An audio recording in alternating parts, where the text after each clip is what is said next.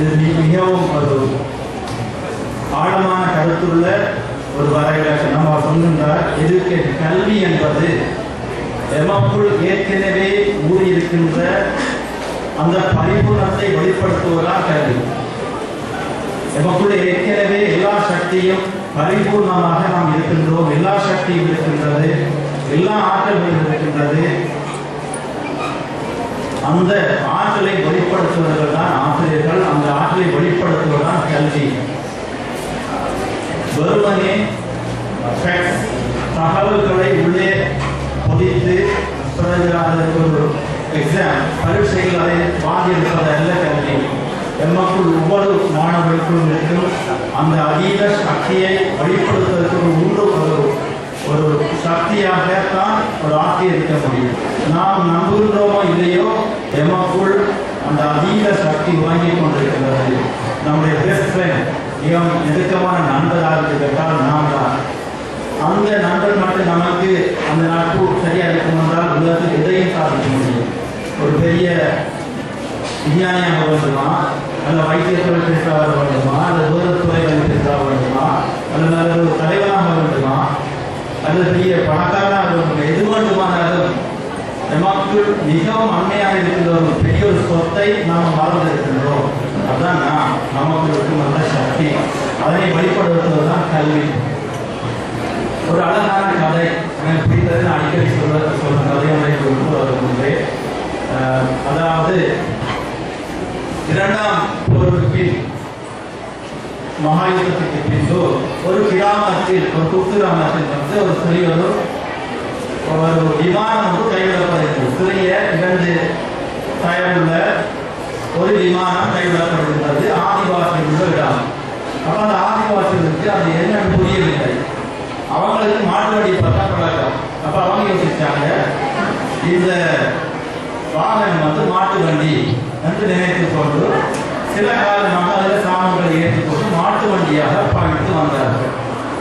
பல சில காலங்களுக்கு பின்பு அந்த உறவு படித்த ஒரு ஒரு இளைஞன் வருகின்றார் அந்த இளைஞன் இந்த அந்த விமானத்தை பார்த்துட்டு மாட்டு வண்டி இல்லை இல்லை கியர் மேம் இருக்குது இது ஓரளவுக்கு கட்டர் என்று சொல்லி ஓரளவு இந்த கியர் இயக்கி ஒரு ஓட ஓட பண்ணி கொடுத்தாங்க அப்பொழுது மக்களுக்கு பெரிய சந்தோஷம். இது ஒரு டிராக்டர்னு சொல்லி அது ஓடிக்கொண்டு இருக்குது அதில் சாமான் ஏற்றிக்கொண்டு மிகவும் கோலாகலமாக கொண்டாடினாங்க. இன்னும் சில காலத்துக்கு பின்பு அந்த கிராமத்துக்கு ஒரு ராணுவ ஓய்வு பெற்ற ராணுவ அதிகாரி வந்து சேர்ந்திருந்தார். அவரை பார்த்து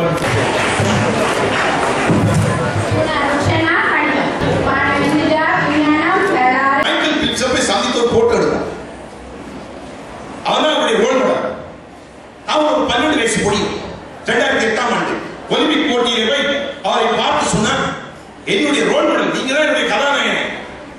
உங்களோட போட்டோ எடுக்கணும். தாயை கொண்டு போய் அவர் போட்டோ எடுத்தார் போட்டோ எடுத்து நீ சொன்னார் அந்த ஸ்கூலின் ஜோசப் பண்ற பன்னெண்டு வயசு முடியும் சொன்னா மைக்கேல் பிலிப்ஸ் அவர்களே நீச்சல் நீங்கள் மிகப்பெரிய ஜாபமா உலகிலேயே தங்க மகன். ஆனால் உங்களை உங்கள் சாதனையை நான் முறியடிக்க வேண்டும். இரண்டாயிரத்தி எட்டாம் ஆண்டு ஸ்கூலின் ஜோசப் பன்னெண்டு வயசுல அதை சொன்னான். பல சிரித்திருக்கலாம் அவனுக்கு நீச்சல் பழக்க பயிற்சியாளர் சிரித்திருக்கலாம். ஏன்? பெற்றோர்களை சேர்ந்து சிரித்திருக்கலாம். ரெண்டாயிரத்தி எட்டிலிருந்து ரெண்டாயிரத்தி பதினாறாம் ஆண்டு வரை கடுமையாக பயிற்சி செய்தான். இந்த முறை உங்களுக்கு தெரியும் ஒரு போன மாதம் நடந்த ரியோ ஒலிம்பிக். போன மாதத்தில் நடந்த ரியோ ஒலிம்பிக். ரெண்டாயிரத்தி பதினாறாம் ஆண்டு ஒலிம்பிக்கே நூறு மீட்டர் வட்டப்பை நீச்சல் போட்டி ஆரம்ப ஸ்கூலின் ஜோசப் இருபது வயசு நிரம்பிய இளைஞன் பக்கத்திலே மைக்கேல் பிலிப்ஸ் இருபத்தி மூணு தங்கப்பதக்கம் கிடைத்த ஒரு மிகப்பெரிய ஜாமா சிங்கப்பூர்ல இருந்து ஸ்கூலின் ஜோசப் கலந்துக்கலாம்னு சொன்ன பொழுது யாரும் பார்க்கவில்லை. அவர் சின்னவரா போட்டி ஆரம்பித்து விட்டது. உலகமே பார்த்துக் கொண்டிருக்கிறது. நூறு மீட்டர் போட்டியிலே நீச்சல் போட்டியினுடைய முடிவிலே சிங்கப்பூர் மிகப்பெரிய ஆரவாரம் செய்கிறது. சிங்கப்பூரில் இருந்து கலந்து கொண்ட ஸ்கூலின் ஜோசப். மைக்கேல் பீச்சை முறியடித்து நீச்சலிலே தங்கப்பதற்கு பெற்றுவான் உலகமே என்று திரும்பி பார்க்கிறோம் இதுதான் மாணவர்களே நாங்கள் எந்த நிலையிலும் இருக்கலாம். நாங்களுடைய என்னுடைய பிறப்பு என்னுடைய குடும்ப சூழல் சாதாரணமா இருக்கலாம். வள்ளுவர் சொல்வார் பிறப்புக்கும் எல்லா உயிருக்கும் சிறப்புவா செயலொழில் வேற்றுமையா? எல்லா உயிர்களும் பிறப்பிலே ஒரே இயல்பை கொண்டவர் நாங்கள் முயற்சி பண்ண வேண்டும். ஒரு குறித்த இலக்கை வைத்து நாங்கள் கடுமையாக பயணம் செய்யணும் செல்லும் பாதையில் முக்களும் கற்களும் இருக்கத்தான் செய்யும்.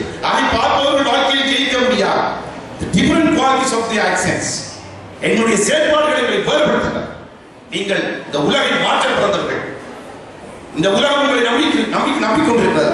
இருபத்தி ஓராம் நூற்றாண்டின் சவால்களுக்கு முகம் கொடுக்கக்கூடிய நாளைய உலகின் தலைவர்களாக நீங்கள் மாற வேண்டும் என்பதை இந்த இடத்தில் நான் பதிவு செய்து கொண்டு இந்த இடத்திலே வரையிருந்திருக்கின்ற ஊடக நண்பர்களை விழித்துக் கொண்டு நாட்டிலே தற்போது சில தினங்களாக பேசப்பட்டுக் கொண்டும் போராடப்பட்டுக் கொண்டிருக்கிற மிக முக்கியமான பிரச்சனை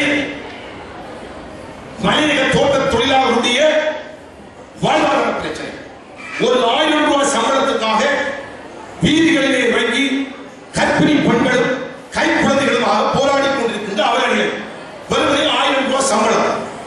இன்று எமது மாவட்டத்திலே ஒரு மேசனுடைய சம்பளம் இரண்டாயிரத்தி நூறு ரூபாய்.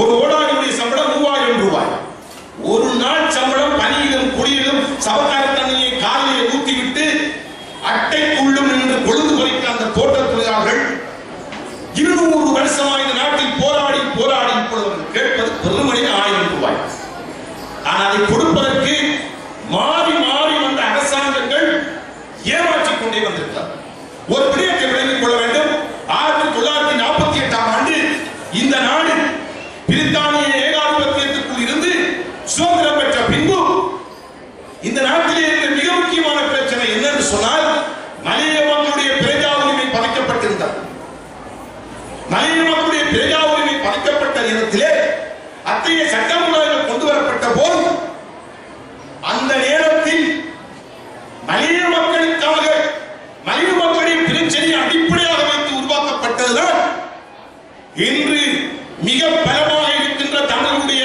இலங்கை தமிழரசு கட்சி.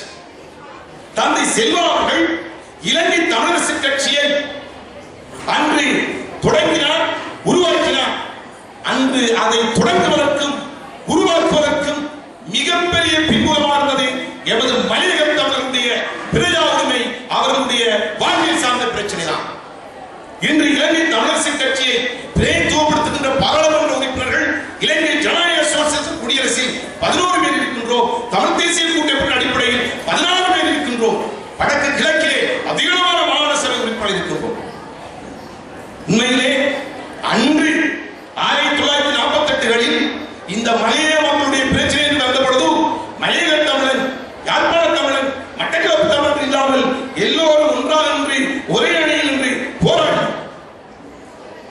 இன்று அந்த தேவை. நுவரெலியாவிலே தோட்ட தொழிலாளருடைய சம்பள பிரச்சனை தொடர்பாக உண்மையிலே போராட்டம் வெடித்த போது அது மலையகம் முழுவதும் வெடித்தது.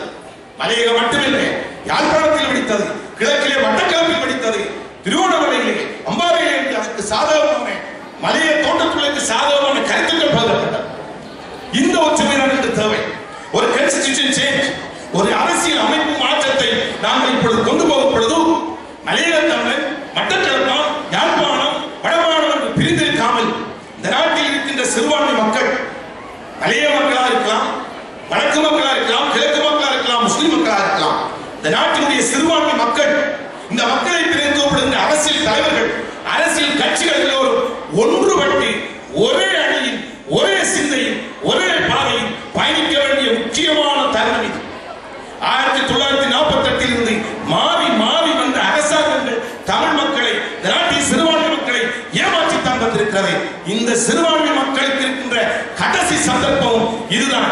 ஏனென்றால் இப்போது இருக்கின்ற இந்த தேசிய அரசை பயன்படுத்தி தங்களுக்குரிய சிறந்த தீர்வை தேவையானதை பெற்றுக்கொள்ள சிறுபான்மை தலைமைத்துவங்கள் அது தமிழ் தலைமைத்துவமா இருக்கலாம் முஸ்லிம் தலைமைத்துவமா இருக்கலாம் வடகிழக்கு தலைமைத்துவம் இருக்கலாம் மலையக தமிழ் தலைமைத்துவமா இருக்கலாம்.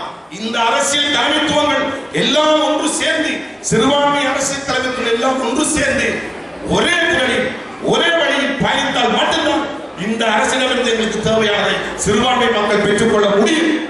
அவ்வாறு பயணிக்காமல் இந்த சந்தர்ப்பத்தை தவ- தவறவிட்டால் நிச்சயமாக இன்னொரு முறை இந்த சந்தர்ப்பம் கிடைக்காது என்று கூறி என்னை இந்த நிகழ்வு கலைத்தமைக்கு நன்றி. குறிப்பாக என்னுடைய பாடசாலை அதிபர் அவர்கள்